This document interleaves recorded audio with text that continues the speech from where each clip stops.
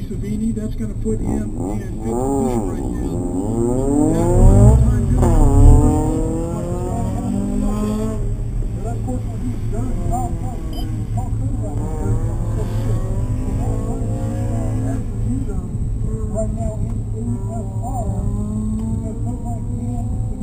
30. Valera, I'm going to finish up right now, Mark Valera, 58.847. No come call at this point. and That puts him in second now behind Murray, 59,000 back. That's right. Mark Valera.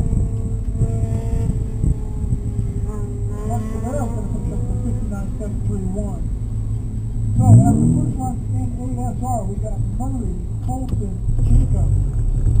Then uh, Valera Coastline, Center to fourth. If we got Valera Coastline down to fifth and they can clean up, excuse me, sixth and Savini, if they can clean up, they've got on top of the. Plus one cone there for for Jessica Gauthier, 59,575 plus at least one.